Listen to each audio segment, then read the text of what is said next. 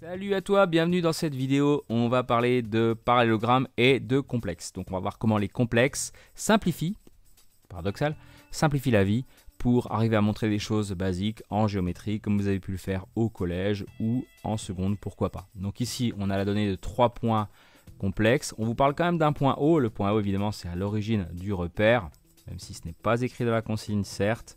Donc son affixe, c'est 0. Je vous laisse mettre ça sur pause pour bosser l'énoncé. Je vous remets aussi quelques propriétés qui pourront peut-être vous aiguiller dans sa résolution. Donc on met sur pause au travail et on en rediscute dans quelques instants. A tout de suite.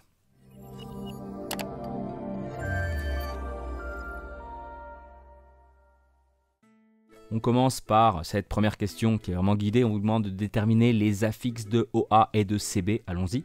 Z de OA, c'est ZA moins ZO. Attention à l'ordre, ce qui donne très vite 4 hein, plus 2i moins 0, 4 plus 2i. Voilà l'affixe du vecteur OA. On fait pareil pour le vecteur CB. ZB moins ZC, 5 moins i moins, parenthèse, important et classique, 1 moins 3i Petite simplification en changeant les signes à l'intérieur de la parenthèse et on trouve eh bien, la même chose, 4 plus 2i. Que peut-on en déduire? Alors petit schéma pour résumer les choses, on s'est intéressé à deux vecteurs, OA et CB, qui ont même affixe. Or, quand deux vecteurs ont même affixe, ce sont des vecteurs égaux. Il y a équivalence. Donc on a OA qui est égal à CB.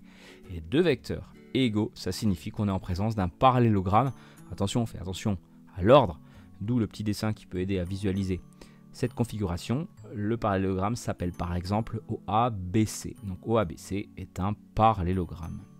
Donc voilà, tout simplement deux petites affixes. On se simplifie la vie par rapport au repère cartésien avec deux coordonnées, étant donné qu'on a deux fois moins de boulot à faire. Mais c'est pas la seule façon de procéder, d'où les questions C et D qui nous amènent sur ce parallélogramme par un autre biais. Donc repartons entre guillemets à zéro et on va se concentrer sur les affixes des milieux I et J des segments OB et AC qui correspondent, petit dessin, diagonale de notre parallélogramme. On va montrer que ce quadrilatère a des diagonales qui se coupent en leur milieu. Pour ça, on calcule l'affixe de I. ZI, c'est moyenne arithmétique des deux affixes de ces extrémités, donc ZO plus ZB sur 2, c'est-à-dire 0 ben, plus 5 moins I sur 2, c'est-à-dire 5 demi, moins 1 demi de I. On fait pareil pour ZJ.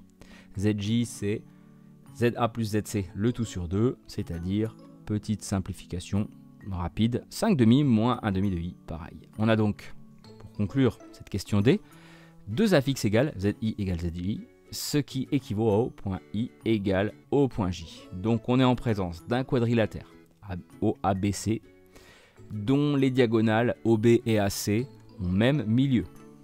Et bien ça, ça signifie bien sûr que ce quadrilatère OABC est un parallélogramme.